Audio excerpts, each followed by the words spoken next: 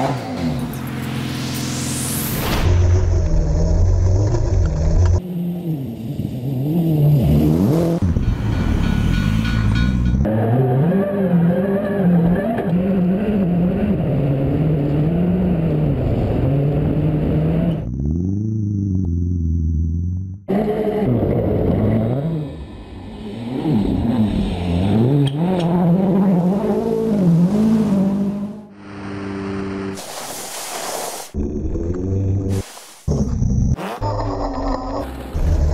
X